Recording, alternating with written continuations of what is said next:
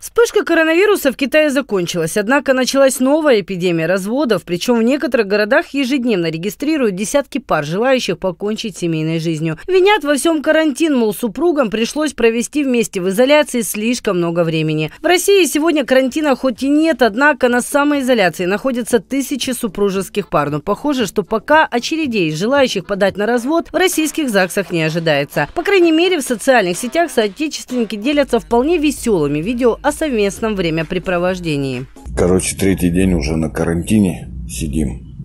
Вот только на улицу выхожу.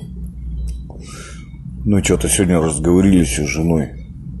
Слушай, нормальная баба вообще оказалась. Говори. Я так люблю свою жену. Меня реально, ну, как бы вдохновляет, мотивирует. Я, ну, как бы, я, я готов всю жизнь находиться с ней на карантине. Где мой нож?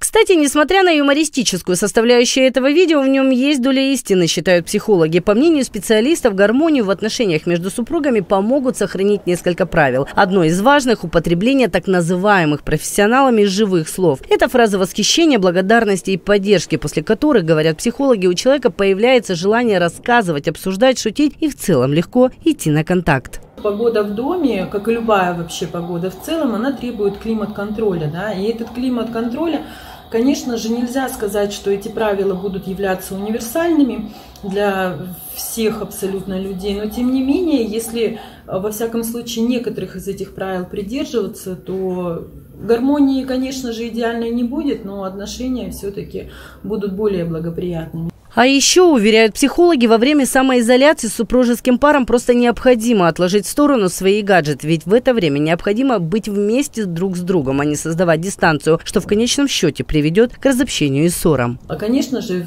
в современном мире, в эпоху гаджетов, мы забываем про то, что существуют настольные игры.